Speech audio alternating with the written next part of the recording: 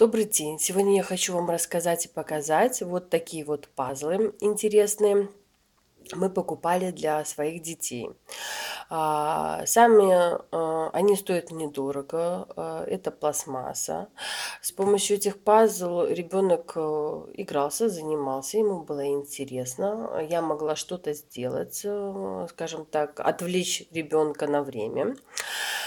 Э, позволяют эти пазлы изучать э, цвета, э, формы, тренировать логику мышления. То есть очень удобно, очень практично. Состоят они, как вы видите, из двух половинок. Каждая половинка соответствует цветовой какой-то гамме, какому-то предмету.